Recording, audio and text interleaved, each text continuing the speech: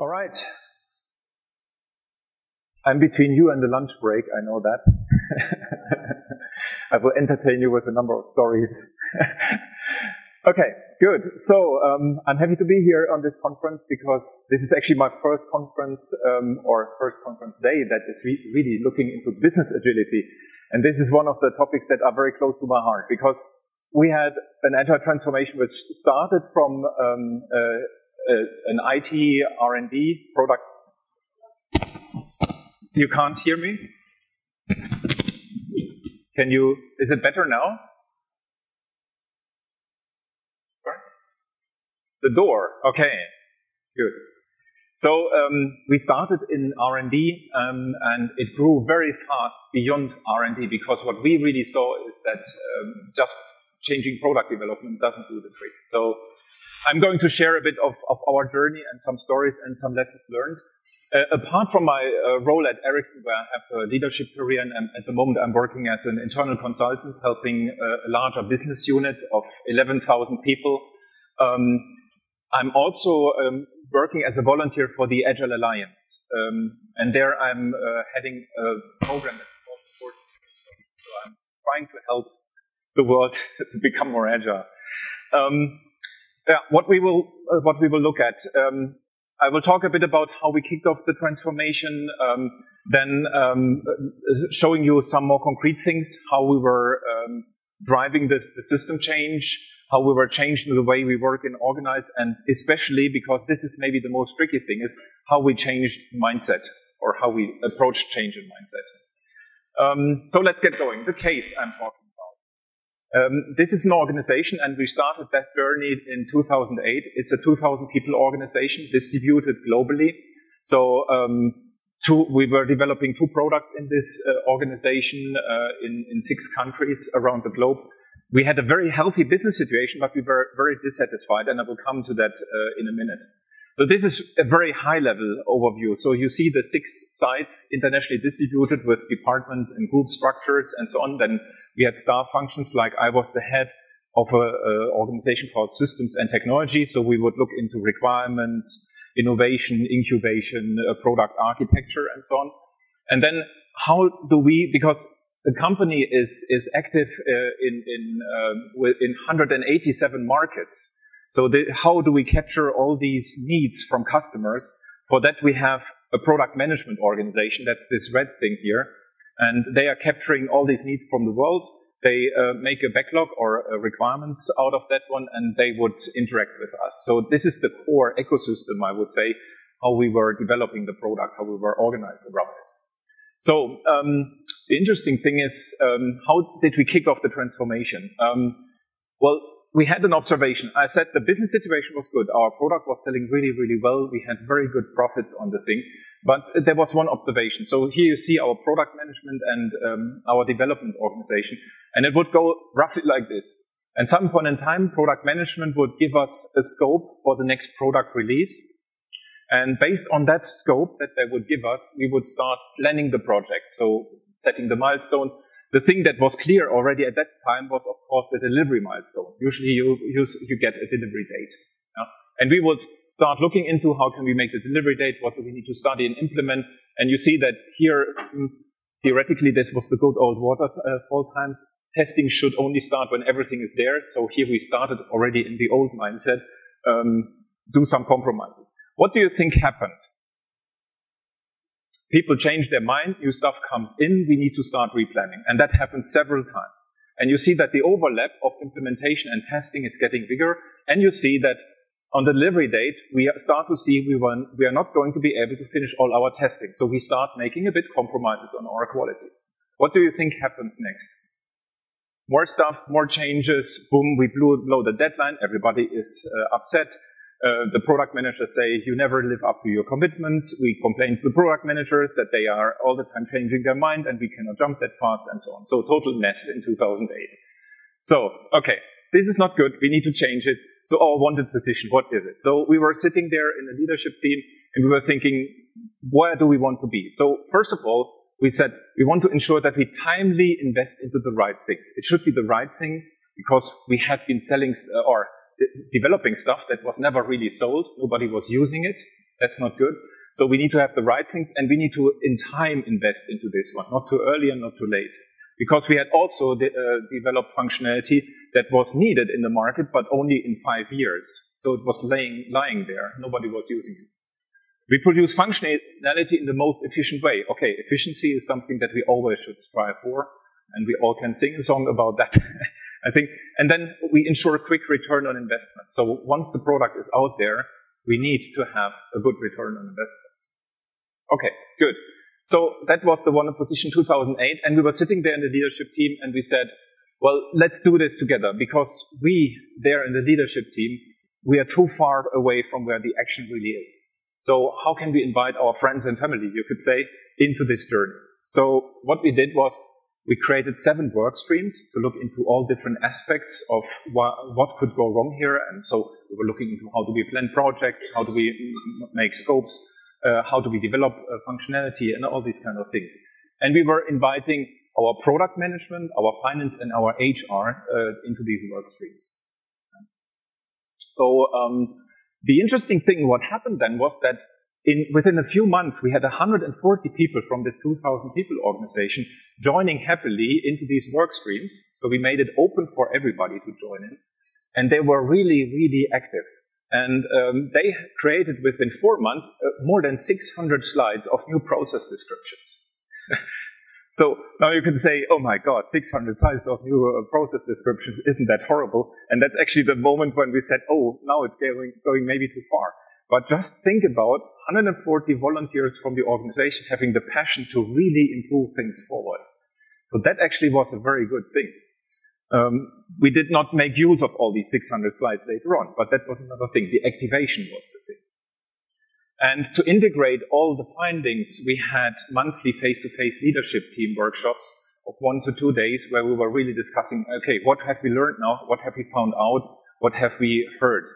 And for example, Agile was at that time in the beginning, we said Agile doesn't work in a large company like ours. I was one of the persons saying in a 2,000 people organization, there's no proof point that this can work.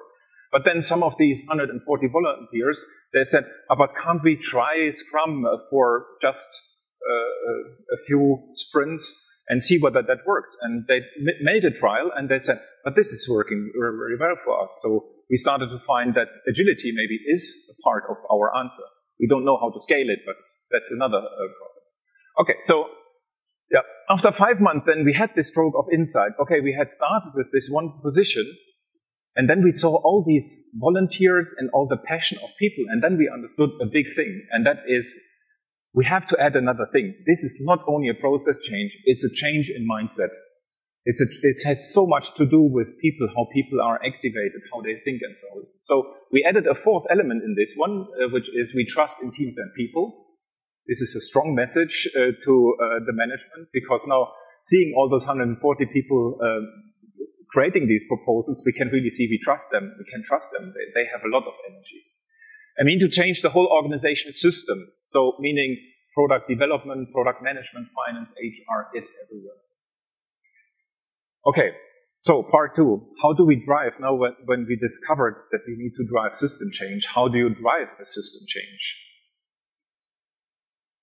This was uh, 2008 into 2009, so this was middle 2009 that we discovered it.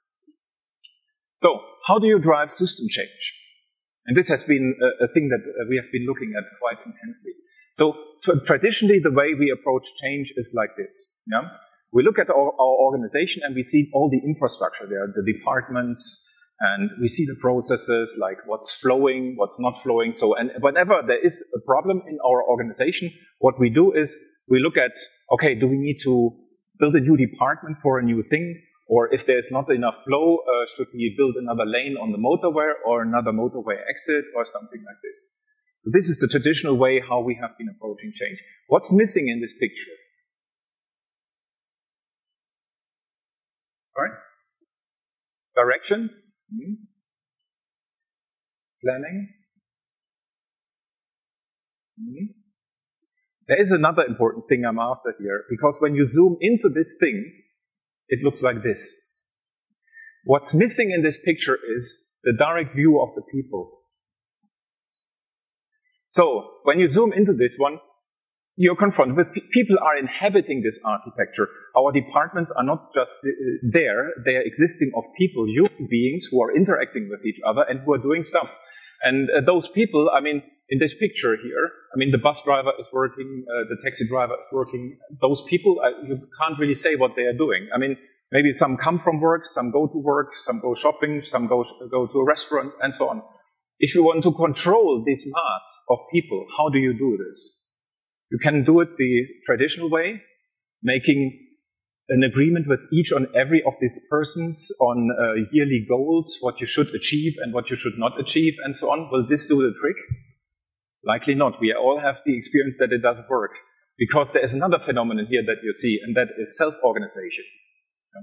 People are self-organizing. Sometimes we say we need more self-organization. The good news is self-organization is always there, whether you like it or not. Um, and self-organization is always an optimization thing. So you see, for example, these pedestrian areas that got overcrowded. So people saw, okay, what do we do? They make more use of the space that's available. They are optimizing it by self-organization. So um, this is the phenomena that are happening. And then the question is, how can we still work with this complexity, the masses of people, the society in our organization? So how to drive change in such a complex system? And there is probably some of you have heard about uh, the Cynefin framework from Dave Snowden. If you haven't, uh, it's a very, very good thing to look at. Uh, so what we learned from this one, what does complexity really mean? The characteristics of a complex system is you can't really predict what's going to happen here. Yeah, predictability is not there. And things emerge via self-organization because of uh, the fact that this is self-organization or organizing. Things just emerge, patterns emerge, how people behave, and your results emerge. And um, to thrive, to, to really uh, do a work here, is uh, we need to experiment. We need to have an approach of trying things out and seeing whether they uh, work. So we need to, to look at this system. We need to see uh, uh, what does that tell us, what we see. Um, define a change experiment because maybe we want to see some other patterns emerging. So for example, we don't want people to use these parts of the street, so maybe we need to uh, make an experiment what happens if we put uh, walls up here. When the traffic light turns red, there are walls coming up here or something like this. You define an experiment, um, take the change actions and see what is then the behavior. Uh, is it getting better? And if not, you abandon the experiment and try something. So an agile transformation, yeah, and agile with a small a, because we are not talking about the Agile Manifesto Agile, we talk about agility as a phenomenon. This transformation is an emergent change. It's the result of something, of the change in the society in your companies. Okay, so then how can we actually address, how can we define, uh, how can we find um, uh, system change experiments? What are the levers that we have in our organizations? And that leads to the question, what are, can we really manage? What can we influence in our companies? So, what do we manage? First thing we, that comes to mind is, oh, we are people managers. We are managing people. But what is it really about people that we can influence? People are not robots. Behavior, motivation, exactly. So there's two things we found you can influence about people. One thing is behavior. You can can give you can influence behavior by giving feedback, um, by giving coaching, uh, by, by um, uh, yeah, by, by giving feedback, by communicating company values and things like this, and so on. Uh, then you can change, of course, capabilities of people uh, by giving them coachings, uh, by giving them trainings. You can uh, change the capabilities of teams by changing the diversity on a team or adding new people with other skills and so on. So you can influence those things. And then there's two more things you can influence, and those are the obvious ones that we have been uh, using very much in the past, processes and structures. Yeah. And this is our cozy corner. Show me the problem, and I can tell you the process to fix your problem. Yeah. So this is not difficult. This is the difficult. And because we have in the past always focused on the architectural side of things, we have forgotten about this, and then that's why the mindset change doesn't and there's another interesting uh, thing about this one. Those four are correlated. They are influencing each other. So change a process and the behavior of people changes. A quick example, at Ericsson we have a trouble report handling process, which is classifying trouble reports according to the severity, A, B, C, D are the classes. Then on the structure side of this, we have um, a KPIs that are saying for an A priority trouble report, you have 48 hours, for B priority, you have 72 hours, and so on. And on the structure side, you might have even an incentive scheme that says you get a reward for solving your A priority TRs in uh, 48 hours. What do you think is the emerging behavior out of that system? Let's say uh, an A priority TR comes in, an engineer looks at the thing and says, oh my god, this is not going to uh, be solvable in 48 hours. What will this person, how will this person behave? What do you think? Oh, I think uh, actually this is not in our subsystem, it's in the neighboring subsystem. So I forward the trouble report to, the, to my colleagues over there. Or things like, oh, I need to reach out to the trouble report issuer because maybe he did a mistake uh, when classifying the thing. Maybe it's a B priority, not an A priority. So instead of putting the energy in solving the thing, the behavior is uh, that um, you're trying to get rid of it. And, and you have maybe seen similar things in your companies, uh, the side effects of these.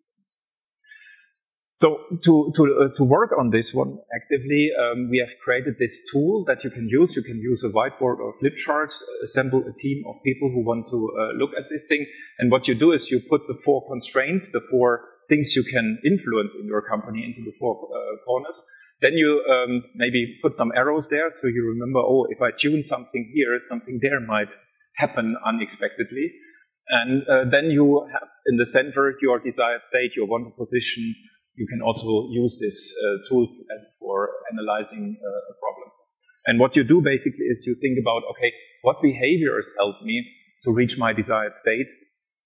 Um, what behaviors do we see today that are not helpful for reaching the desired state?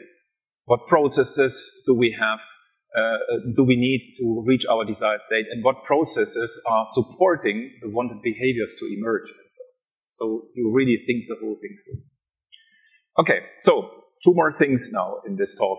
I will first talk a bit about the boring, not boring, but uh, the obvious things about structures and processes, and then I will show you a thing about the mindset change, and that will be a bit of a longer story. Uh, so let's get going on the process part. Process and structures. So on our way to agility, we changed almost everything. That's what we found. So let's look at the core operation flow. So we have created three main programs uh, to do our product development. An early phases program, a feature implementation program, and a release program. And what they were actually doing was, the mission of the early phases program was to deliver planning data to be able to plan scenarios and support product and sales, decisions. Sometimes I had a discussion in the beginning, I was so unsure, are we doing the right things? Because people were saying, ah, you're doing still upfront work, this is evil, don't do upfront work, this is not agile, and so on. And it took me a while until I understood, hey, this is very agile because um, we don't want these people to implement stuff that's not needed. And we need to scan the market and understand what do things need. And when our customer representatives meet the customer, they need to be able to tell them something about when can we deliver something. We need to be able to make a business case. How much will, uh, how do we price the thing? And there needs to be some a process around how we are coming to this data. So this was the mission of this early phase program. Then the feature implementation program, the biggest of the programs, yeah, deliver features that are integrated into the product. And then the release program would have the mission to deliver the product releases that can be rolled out globally. Um, maybe here's mid or uh, of a flow chart picture. So here you see that new requests from the market are coming in arbitrarily and they are done in a very short study, usually one to two weeks to deliver uh, planning data. And then some of them are going into a sort of execution later on. So you have something like this for one feature. You study uh, and do a very high level design. Uh, you design and implement and test. We integrate, of course, continuously and then verify it in the context of release and ship it out. And I think many companies in the meantime have come across very similar ways how to, to do this. So no very big miracle around this one. Now, when we look at the organization aspect of this, So we have the operational flow I've just shown you. But this is not all. This is not, this is not, then the product is still not there because still the product needs to go to the 187 markets and they need to be deployed. So we said we need a deployment program as well. And there, the mission really is fast return on investment. It needs to be uh, possible to install and, and configure and, and so on, uh, the product.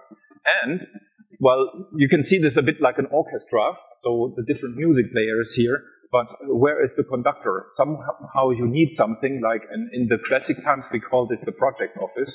Now we called it the portfolio handling office, where we were combining a, a, a, sort of agile project management office, the product management, the finance people, looking into things like strategy, scenarios, performance dashboards, product lifecycle management, the release roadmaps, the feature backlog management, the uh, financial frame handling, and all these things. So this was a bit the orchestrator, and my task at that time was to set up this uh, uh thing here in a distributed way because this cannot be an ivory tower separated from all of these. It needs to all go hand in hand. So how do we distribute it over the organization? Then you need to think about governance and then this picture indicates that this can be done in a very straightforward way. You just have an operational steering group for each of these things where you are discussing uh, um, the status quo and what should be done. And those steering groups, they were more having a mindset then of how can we help this thing to perform well. So it's not, it was not only a follow-up thing where people are going and reporting. It was more like a solving problems kind of attitude in these steering meetings. That was a big change. Then, of course, a part of the governance is, of course, the daily stand-ups and the sprint demos. Yeah? They are part of your governance. There you see what's going on, where you have your problems, and what can you do about them. And then last but not least, uh, we had have formed a product steering group where we were managing um, the overall perspective on the product. And then, of course, management functions. I don't go to all the details. Yeah, you, you have a pro, pro, product program management for the thing, you have uh, the teams, the feature teams, the cross-function feature teams. Um, you need to build uh, uh, continuous integration uh, channels and, and so on. So this was a bit the organizational setup that we have taken. Then, of course, there are support functions that uh, are also needed um, in this kind of transformation. And let's start with human resources. So it's often uh, people who are get forgotten when we are talking about agility, or they, they are remembered when things go wrong. So like HR doesn't support us. So what did we do there? So the first thing that we changed was recruitment criteria because when we saw, understood that this is a mindset change, we need to uh, make this mindset change uh, part of the recruitment criteria. And especially when, when we recruited new leaders, this was a very instrumental thing. So we, because we changed the whole organization, we re-recruited all leaders in the whole 2,000 people organization. That was a tough, tough step.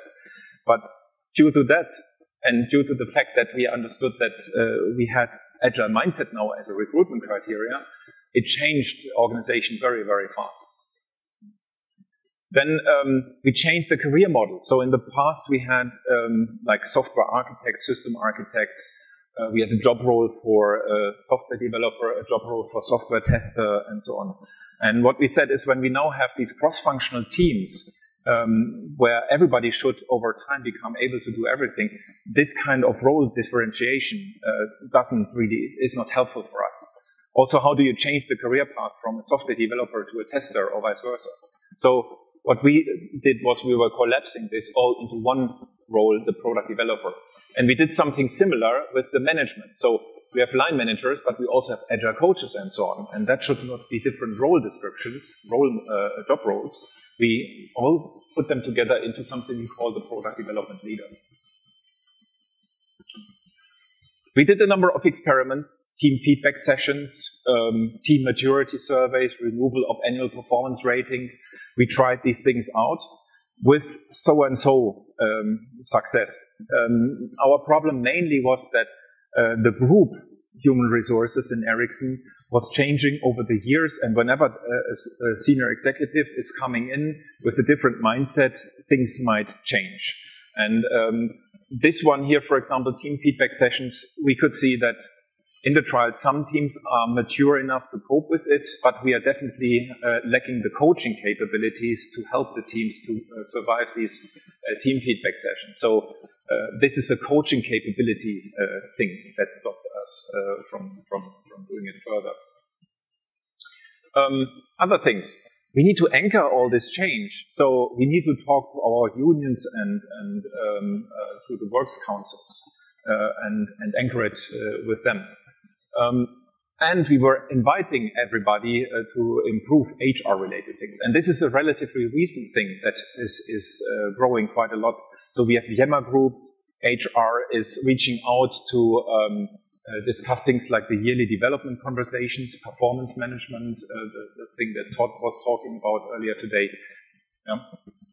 And we have things like the cultural sweet spot, which was crowdsourced. So what do you think are wanted behaviors and desired behaviors and which are not helpful behaviors in our company and so on. So lots of, of different things. Finance, yeah. There the question was, how do we balance accounting rules? Because there is a legal environment around us with handling of financials, how to increase flexibility. Because at the end of the day, we understood ideally we want to have the money where it adds most value.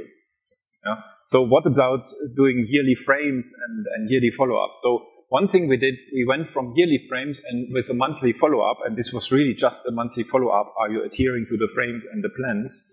Towards quarterly, something we call tactical planning.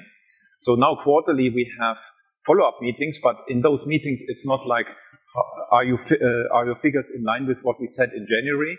Now it's more like, okay, what have we found? How, how is everything going? Um, is there some new market demand there that we need to satisfy? So do we need to pull out money from one area and put it somewhere else? And all these kind of things. And we, finance for us was a strong enabler for more feedback loops. Yeah? So for example, when we talk about estimates, early estimates, how good are we in early estimates? And this is a tricky question for us because we want to make business cases that hold, for example. And if we are too bad in early estimating, uh, we are going to have a big problem. So what we did was uh, we were creating financial structures that help us to compare what was the early estimate and what was the real outcome at the end. And by comparing this, we enabled a feedback loop that helped us becoming better over the years. All right, so those were just highlights of things that we have changed on that side. Then uh, I promise you to talk a bit about mindset change. And now we are going to use the tool that I've shown to you before. And I would like to take a, one of the examples because there's many areas uh, or domains within which we wanted to change mindset. But one was really in the uh, way we run operations. How do we plan projects and so on? So my example is managing uncertainty. So when you take this and you think, okay, we want to deal professionally with uncertainty, what behaviors, capabilities, process structures do we need? So, starting with behavior.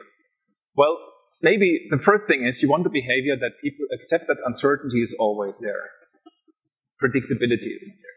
So now, if I come to you and say, okay, from tomorrow onwards, you will accept that uncertainty is always there. You say, yes, sir, uh, and the leaders will say, oh, we had an all-employee meeting. We told everybody the job is done. Do you think anything will change? No. This is a mindset change. So we need to find in this ecosystem other things that can help us. So this is really emerging from the system. You can't command people to think like that. So, okay, we were sitting there, we were thinking, how can we do this? So one thing we came across was, maybe we make our uncertainty visible. Because when something is visible, it's harder to ignore it, right? And um, yeah, so then when it's visible, we also need to talk about it. And for that, we maybe need a communication structure. And what we thought was, okay, maybe we just put this into the terms of references of our governance meetings. So we show and discuss this uncertainty in the governance meetings. And by the way, the practical thing what we did, um, and I will explain that in a minute a bit more maybe, is we went from precisely wrong estimates. Like in the past, we would have been saying, we are going to deliver this feature on the 7th of October at 10 a.m., which is a precisely wrong estimate. No? It's very precise, but it's totally wrong. And we went into uh, using ranges to express our uncertainty and our number of other things. Distributed planning on different levels. Yeah? So we, we had a portfolio level planning, we had a team level planning, we had a planning level on each of the programs I was showing you. We said we need to have iterative development because only in iterative development, um, like in, in Agile using Scrum, we get frequently feedback and new updates on this range. And by this, we get current best knowledge information and so on. So lots of these things. So the first intervention. So this is just a sketch. So this is a sketch. What did we do out of this one? What's the, the trial, the experiment that we did? So this is the experiment. So, okay, except that uncertain is always there, is here. Um, yeah, our product management is the biggest stakeholder when it comes to managing uncertainty. And they need to be on board first on the highest level um, to manage the, the 2,000 people backlog in a good way.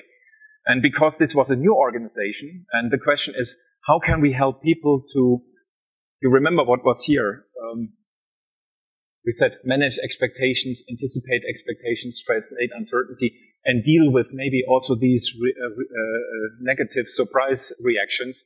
Why can't we commit earlier? We had a decision model that had a commitment decision. So there's a go decision, a delivery decision, and in between simplify it further. Yeah, we provided a more custom-oriented uncertainty view in the governance meetings.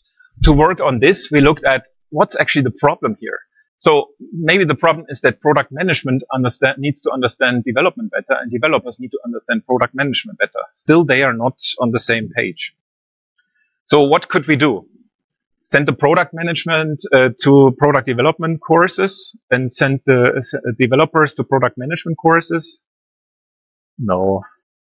The only way to do it, and that was what we tried, was lock them into a room, let them bang their heads together and solve their problem together. Yeah? So we created a regular scenario meeting between development and product management. So this was half a day, once a month, where the, that top level of planning was sitting together and discussing what's going on. Okay, what emerged out of that one? Um, product development and development, uh, product management and development starting to join forces. Hey, this is cool. So what actually happened? We created these uh, meetings, these half-day meetings, and in the beginning there was, of course, quite a debate. Uh, but after half a year already, we could see that the development would come into the meeting saying, "Oh, you guys in product management understood this is your priorities because that and that customer is waiting for this and this. And actually, we found here a problem with uh, a feature uh, because uh, we have been too optimistic. But here are the option A and B and C, uh, what we would propose to do now. And then maybe in the discussion, product management would say, but maybe um, here there's another insight from our side, and then we would create an option D out of this one. But we would really come very prepared in that, into that meeting. So this was really good. And as it's good, we needed to amplify it further. Now we make the experiment bigger and say now we push this to all the feature teams. And we closely pair the product owner with the strategic product manager and give them the power to decide on a feature level on requirements. So they don't have to ask anybody for any permission on, on deciding things. What happened next? We don't need commitment decisions anymore. So now uh, the product management can see all those ranges. They they uh, they know. Wake me up at two o'clock in the morning. I I can tell you exactly what is the situation uh, in the program, and I can tell you what I can tell to the customer. Where do I need to lean out of the window, and where am I safe with uh, my my statements? So this was a wonderful thing. So we made the commitment uh, decisions optional, and this journey continues. So this will never end. Things are emerging out of your organization system. You have to be on your toes and uh, run these little trials and experiment over and over again. And yeah. So uh, one important thing is really we do a lot of retrospectives on operational level. Yeah. So um, the, the, the, the, Scrum teams they do uh, retrospectives and they always look at what has worked, what has not worked, and so on. What we also need to introduce, and that's what we did, um, we need to make organizational retrospectives on leadership team level where we think about what patterns do we see emerging and is this what we want? Okay, in summary, an agile transformation is the emergent change of, of your organizational human system. And now you maybe have a better idea of what I mean with that uh, difficult sentence. Um, to achieve full business agility, agility, you need to nurture an agile mindset in all these functions. R&D, product management, HR, finance, sourcing, sales. And the mindset is the guiding things, not the agile, the principles behind the agile manifesto, because those principles, they don't help HR or finance. Yeah? So then rather look into beyond budgeting principles when you talk with HR or finance people. Yeah. Driving the change requires thinking about behaviors, capabilities, processes, and structures, and don't get stuck only looking into processes and structures because this is our comfort zone. Look into behaviors and capabilities. This, the reward is much, much higher if you look at those uh, dimensions as well. And as the changes emerge into journey will have a lot of side effects. Uh, so frequent organization retrospectives are needed to stay on track. All right. So are there any questions? Actually, what time is it? Almost lunchtime. yes. You, yeah.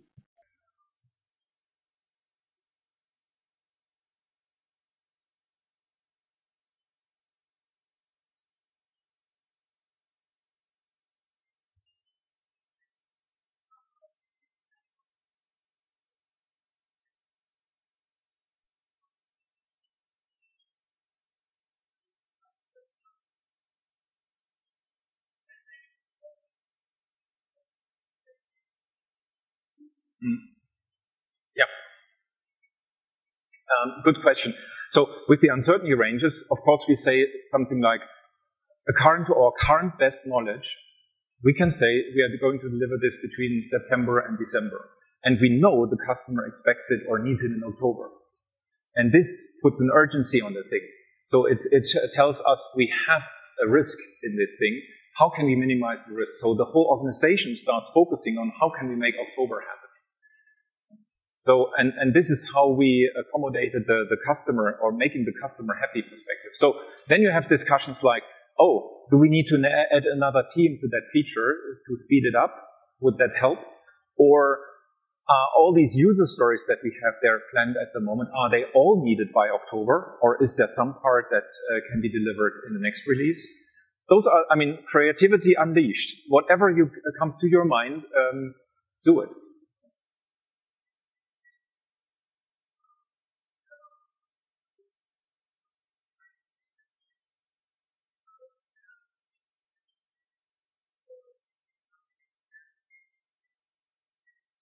Ja? Hmm?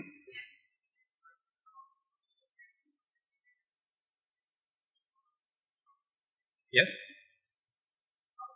If you're totally, if you're totally off, then you can start screaming and crying or whatever. So all the emotional sides are very welcome. But at the end of the day, the facts are the facts. This is not going to happen. Full stop. Hmm? Then the question is, and that's why you, have, you need to have your product management on board, how do we now uh, have a communication strategy towards our customer to tell the customer that this is not going to happen? And what can we offer instead? So we had a number of times this situation. For example, I had it once, and this is one of the tricky th things when you're developing a new product, for example. You have no, no history in estimating. So then you are very likely very much off. And uh, we had a clear customer commitment to a certain deadline already for a totally new product, which is crazy, but sometimes you have to do these kind of things because your competitors are making the same kind of, it's gamified. Huh? So um, what do you do? You lean out of the window, hope you're not falling out, and then, hmm. and then you discover, oh my God, this is not going to happen. What helped us was I mean, and we have always this customer representative organization in between R&D and the customer. And what we figured out was that that's the moment when the customer representative organization should just do a step aside and we start directly working with the customer. Because in that particular case that I'm talking about, we just paired somebody, a, a technician from the customer with the product owner from us. They were looking through all the user stories and they were looking at, is really all of this needed in, the, in that, in that time frame?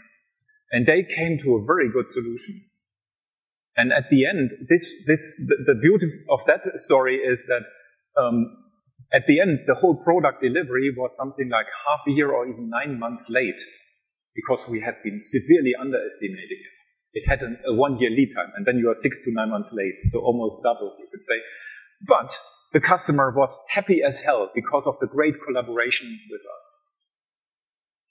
So speed and delivery deadlines are not the only thing on the planet. It's very much about people interaction and then knowing where do I lean out of the window when I have insights, better tell it now to the customer and find a way together forward how to, how to uh, solve the situation. And the traditional behavior is, oh my God, we have totally underestimated it. Where can I hide? yeah, and then we start lying, and then maybe some people from development say, ah, we, this is not going to work out. Then some senior executives, but we have given this commitment. You have to replan this. Uh, you need to find a way. And then you spend months, precious months, in just trying to fix something that can't be fixed. So, uh, yes.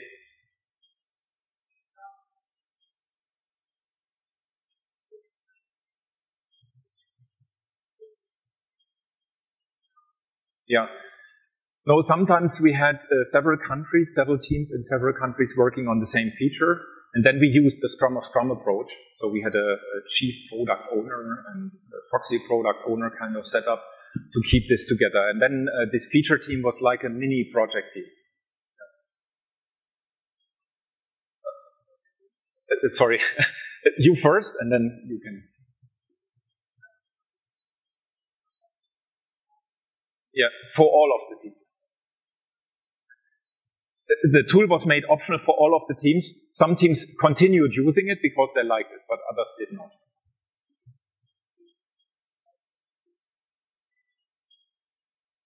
Hmm?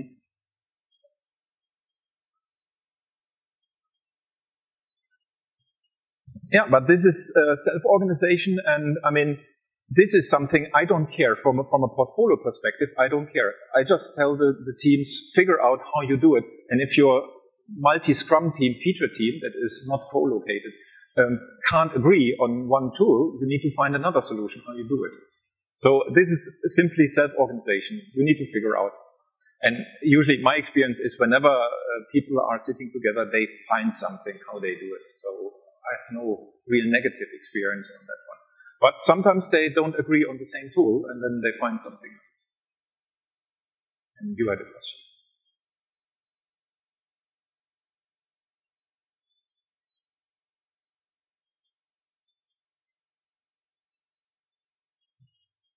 Hmm.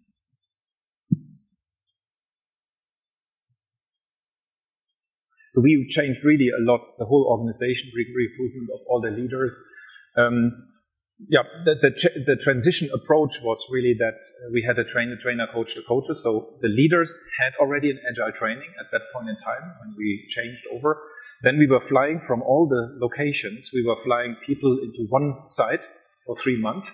So um, we have identified people who should be able to train other people later on in agile, Scrum, product owner, Scrum Master, and so on. So we were flying them into Greece for three months together with the consulting company. They would do a super intensive three month uh, training with these people, including video analysis when they are presenting and so on. So this was really tough. After the three months, they go back home to their home organization, and there they are part of a local transition team where they are working with the leadership team, the local leadership team, and doing all these trainings. And the beauty of that one was that um, because they have been sitting together for three months in one site, almost in a not really vacation, but a bit like unusual situation, they became friends. They are still a, a non-organized, self-organized um, agile coaching network today after almost 10 years. And um, they have been gluing the thing together, and they were helpful for keeping the whole thing somehow aligned. Yeah. I once, in the very first version of this presentation, I called it iterations. And then somebody had, what was your iteration time span? And then this is emergence. So there is no iteration. That's why I renamed it in intervention, because you, you need to do your organization retrospectives. You see what has emerged. And based on this, uh, you say, okay, maybe now has the time has come to do an intervention. And especially in the beginning, when your agile mindset is not very developed, you're like, I mean, I'm an experienced uh, project manager. I see the feature teams struggling with doing the project management part of that task. I think, oh, I want to jump in.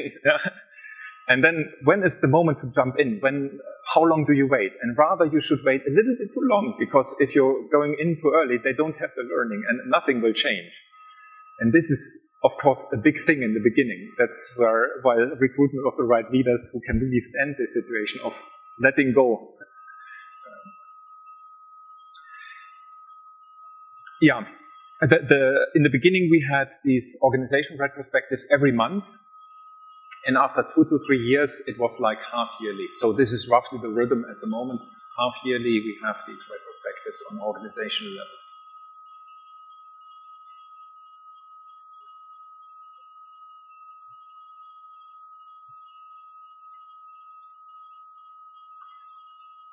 So, okay, that is another development, product lifecycle wise. Um, in the past, we had one major release per year which was always six months at least delayed. And um, after this one, uh, first of all, all releases were on time, not with all the scope that we were dreaming of. So we always made compromises on scope. Um, but everything was on time. And of course, like the whole planet is going DevOps, we are also now looking into a continuous release strategy. So our release cycles one year it went down to half a year. At the moment, we are more on the three month uh, period, and there's some organizations in Ericsson who are now on a monthly rhythm of product releases.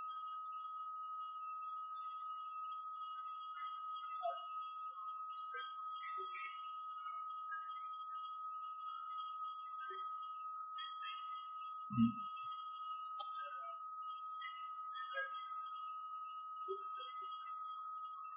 Mm.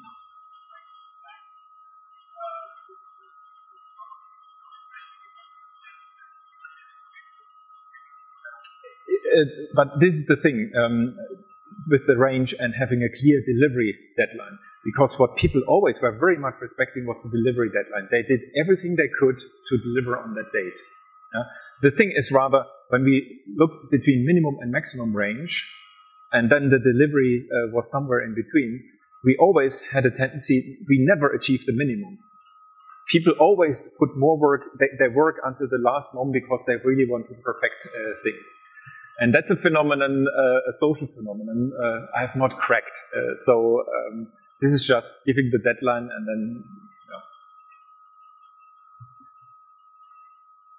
Okay, there's another one. Are we differentiating people? Incentivize people. Um, with incentives, um, so we only have team, or actually in the meantime, we don't have even team incentives. We have really organization incentives. So we want everybody to pursue the same goal. And also another related thing is measurements, uh, performance measurements and so on. We have been super cautious on measurements because all measurements create a lot of behavior. So measurements are very, very tricky. Um, and that's why in the beginning um, we did not do any measurements. We had a huge, we had a one-year debate about what kind of measurements. And then from the top came, you have to measure your feature lead times and so on. And the thing is, of course, we can measure them because we have all the data, but we want to use the data for learning. So um, the moment you need to make these things public, um, it's a bit of a tricky thing.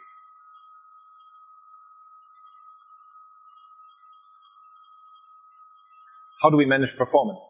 Um, yeah, well, uh, one thing is a measurement, but the other thing is learning from the data we have. You see the difference? So we have tons of data, and of course we learn from the data we have. So we have been looking into what was the range estimates, how did the range develop, uh, what is, was the delivery deadline, uh, how, how, what came out at the end. And from this, we were for, uh, uh learning and giving feedback to the people who were doing the original estimates. Uh, we were in the beginning, usually use planning factors. So you have only an early phase estimate, and you usually multiply this by a miraculous factor that some experts know only uh, to arrive at this is roughly the ballpark figure where we uh, how, how much something really costs or how much effort it will really be. And we have been able to fine tune those factors over time. So we are using this But for example, a good thing, performance, we had also, for example, who's responsible for the team velocity? That's often a performance figure that people use. And um, one thing uh, we came across was that we, the leaders don't care about team velocity. The team velocity is a data point owned by the team, and it should be in the team's interest to, to increase the velocity. So, and actually that's what's what's happening. Uh, but the moment you make this publicly uh, announced measurement and you see, look, this uh, team has a higher velocity than that team, you're screwing things up. You make the, the world an unsafe space and then people will just start hiding this stuff. So, yeah.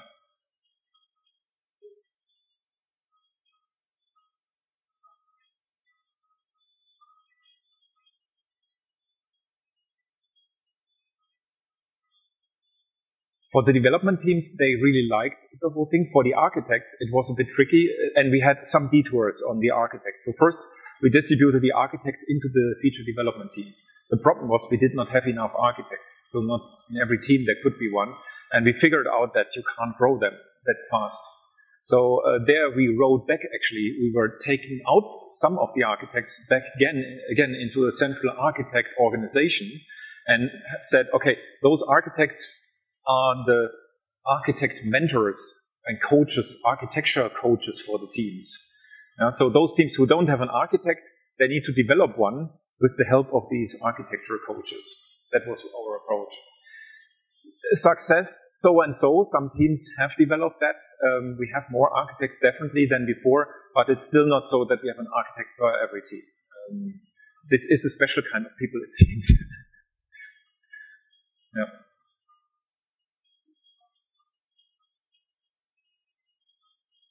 Hmm.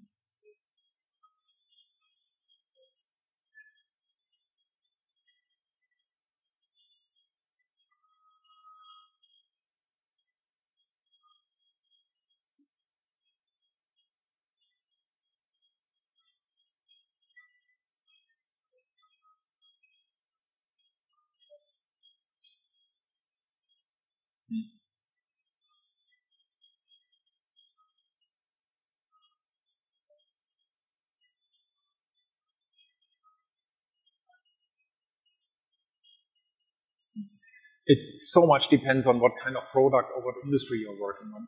You're absolutely right. One of the different part of the definition of done of such a featured team is also training material and so on. So um, this is part of the delivery. It, it's not. I mean, that was also a thing we stumbled across. Somewhere it says the only measure of progress is working software, and that's nonsense. Um, working software, of course, gives you a lot of feedback whether your software works correctly but you need to also uh, develop uh, product documentation, training material, and all these kind of things. So all of that needs to be in the definition of that. So in that sense, and then the question is, how much, what features do you have that you can really develop in such short cycles and so on? Well, the feature might take several sprints, several months, but your release frequency can be maybe monthly. And then it's just slotted in into the release where it's needed, where, where it's getting ready. Okay, lunchtime.